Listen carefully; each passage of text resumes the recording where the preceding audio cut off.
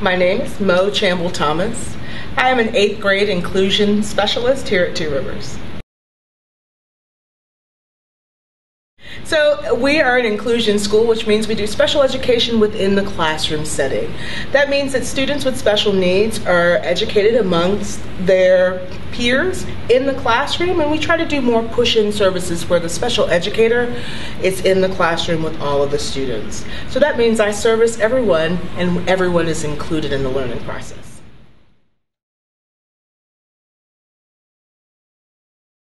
So I calculated my teaching experience. Um, I've been teaching for nine and a half years, and four and a half of them have been here at Two Rivers.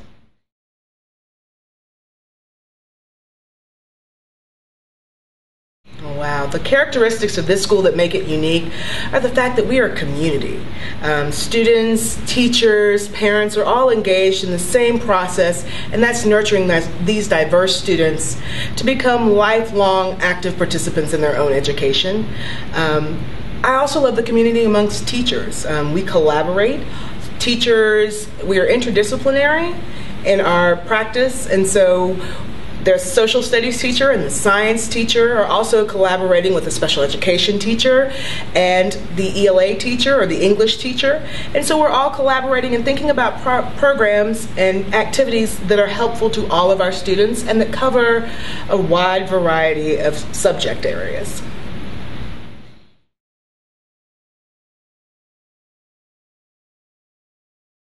the school leadership is really thoughtful in their process, especially around creating our professional development. We have a professional development program that we call the DAS Loop, and that is a data analysis strategy loop. And that's when we are looking at best practices in education. We're finding readings behind that to support that. Um, we are looking at those readings, and then we are looking at those in terms of our own practice and whether we are doing those things or not. We are implementing those things into our classroom, and then we're looking at student data on a weekly basis, and we're analyzing whether students got what we were teaching and the way that we were teaching. And if not, then we need to make some adjustments in the classroom. And we're so heavily endowed in data and looking at that data in real time. So if students are not getting it, then I have the potential to reteach something the next day so that students are able to get the learning and the understanding that they need.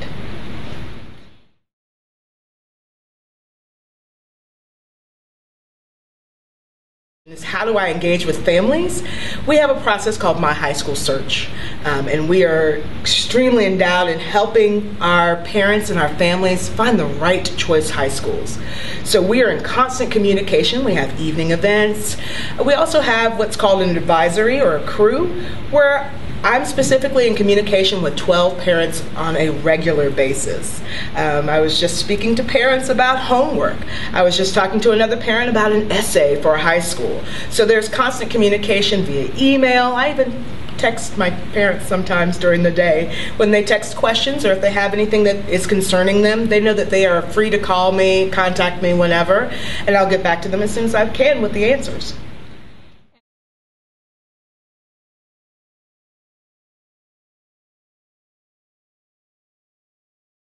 Okay, so my name is Carolina Riveros Renas, and I teach English in various forms, and I teach sixth grade and creative writing, um, language arts.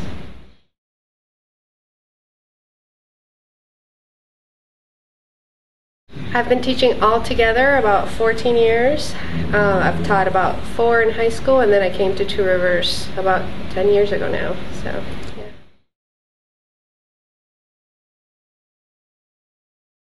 So some of the characteristics that make the school unique is that I feel like we really focus on the individual child as well as how they work with uh, other kids. And so I feel like this real um, rounded approach to kind of not just teaching academics where we need to meet you, but also teaching social skills and how to work with others and um, in ways that are really effective and really meaningful and that really translate to where they're going to be in kind of the world as workers and as people who are going to make a change in the future. So.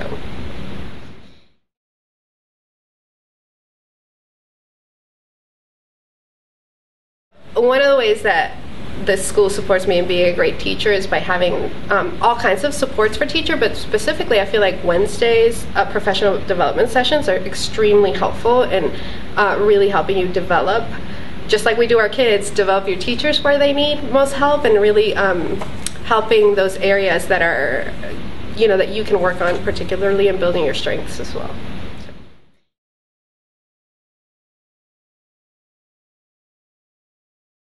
We engage in with the families of our students in a bunch of ways. I feel like we try to do a lot of different things. There's everything from basic things like newsletters and emails and things like that. But we also, I think, one of my favorite ways that we communicate learning to our students is through showcases and ha- kind of having family learning nights and where parents kind of get to really see the school in action. I think that that's wonderful.